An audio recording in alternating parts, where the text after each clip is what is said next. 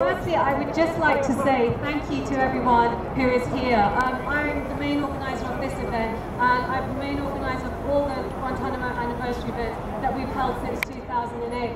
And honestly, when people say, let's hope there's no more anniversaries, I really, really hope there are no more anniversaries. There's a lot of work that goes into planning these small actions, and I'd particularly like to thank everyone who was involved and did a lot of work in, in the run-up over the past four months until today, as well as everyone else who is here with us as well, um, and all the other groups. There's some Stop the War groups, some Amnesty groups, there's the Syrians who come and join us as well. So I'd like to thank everybody for their solidarity and for understanding just how important an issue this really is. As some of the people said, it's not just about America, it's about us as well. Okay, it's not about what Britain is doing, and it's not just about Guantanamo Bay, it's about Bagram, it's about Abu Ghraib, it's about prisoners in unjust systems all over the world. That's who we are asking for freedom and for justice for. No justice, no peace, no peace, no justice. No Um, justice, no peace. I, Five seconds.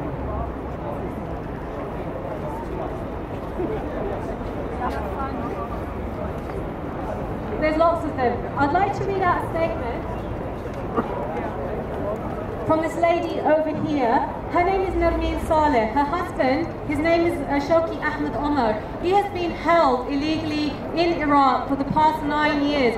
In a, quite an ironic situation, he's actually an American citizen. So people always say, what would happen if an American was held in Guantanamo Bay? Her husband is the answer to that question. He has been held in Bagram, he has been held in Camp Nama, and if you read his story, it's actually the story of American torture in Iraq.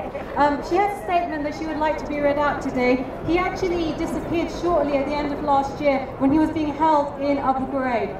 Shawki Ahmed Omar is an American citizen who has been unjustly detained in the jails of Iraq for nine years. He has never been allowed to see a lawyer or discuss his case. Furthermore, he is not allowed to contact his family.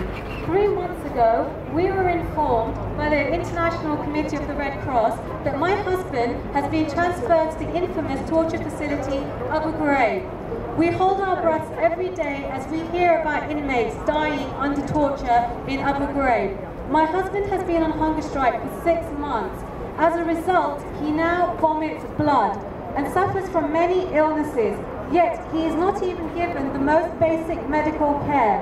As we have no way of being reassured about his state, so long as he remains in that notorious place, our initial aim is to get him transferred to a prison in the north of Iraq, where we can at least have a chance of visiting him. I ask every person and every organization capable of helping my husband to please help save what is left of his life. The London Guantanamo campaign supports Shawki Ahmed Omar and we support all prisoners who are illegally detained in the United States, in Guantanamo Bay, in Iraq, in the United Kingdom, wherever they may happen to be. I'm going to actually ask Zainab here to say something now. She's very brave. When we know that, Shok, uh, that, um, that Shaker Aamer hasn't met his youngest child, Zainab has never met her father either, okay?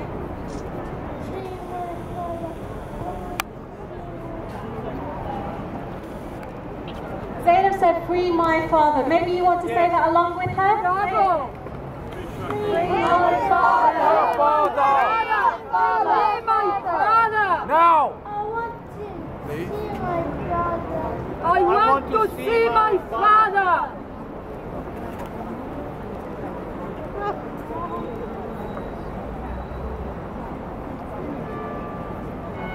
I want to hug my father. I want to hug my father. To see him and go back to my father. See him look at others. To, to, to see them. See their father. Oh no, I want to see my father.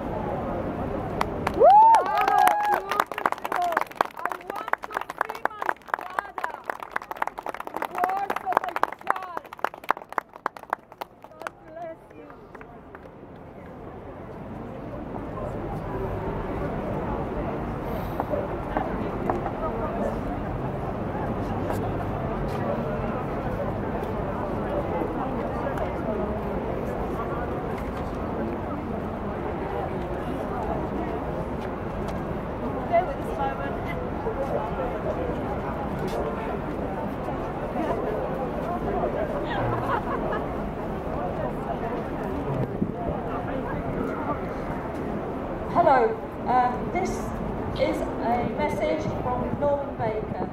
Thanks. Uh, I, yeah. It is deeply disappointing that Guantanamo Bay remains open and that large numbers of individuals have been held for years in detention without any proper legal justification, without charge and without trial. Naturally, we in the UK are particularly concerned about the continued detention of Shaker Aamer, a concern only heightened by the state of his health. As a government minister, I can vouch for the fact that our Foreign Office has actively and repeatedly raised the matter with the US authorities, but sadly without success.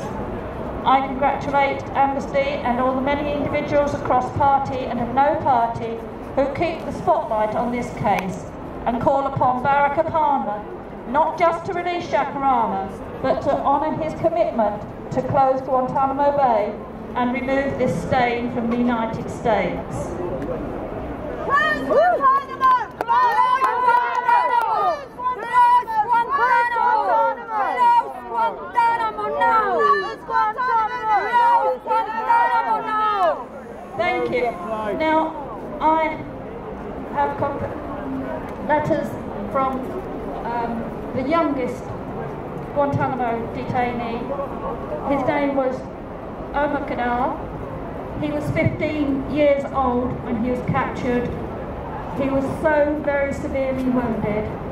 After 10 years, he did a plea deal with the Americans because that was the only way out of Guantanamo. He is now in maximum security in his home country of Canada. I write letters to him and he writes to me and I had this lovely, lovely Christmas card from him and he says, Dear Mrs Brown, I just wanted to wish you and all the lovely people a Merry Christmas and a New Year filled with peace, joy and love for all the world. Happy seasons, Omar. He really is a lovely, lovely man. Go on to the internet and read his letters and read about him. He really is a gorgeous, lovely man. He is now 27 years old. He was 15 when he was captured. He's blind in one eye, is going blind in the other. But he has just passed his exams, so he's taking exams in prison. Please read about him. Thank you. Sorry, I had a statement. I was feeling a bit teary, so I couldn't. Anyway, um, Jean Lambert MEP couldn't be here with us today because she's at a conference in Greece, but she sent us a statement, so I'm going to read that out now. So Jean Lambert, MEP, Green MEP for London, says, I'm very sorry I cannot be with you today, but I am in Athens speaking on the healthcare crisis in Greece, another avoidable tragedy. This is the 12th year of the existence of Guantanamo. Every year we mark the anniversary, hoping it will be the last time, hoping that those still detained there will be released or charged, and that those charged will be tried in public civil court where all the evidence can be heard and tested. The fact that Guantanamo remains open is a stain on the human rights record of the United States. President Obama must fulfill his pledge to close the camp. I welcome the recent small progress. I welcome the decision of the Slovakian government to take three Uyghur detainees and wish more EU governments would take such action as the European Parliament has repeatedly demanded. The UK still has to bring Shaker Aamer home to his family in London. I still cannot understand why this. He has been cleared for transfer. He has not been charged. He should be here with those who love him.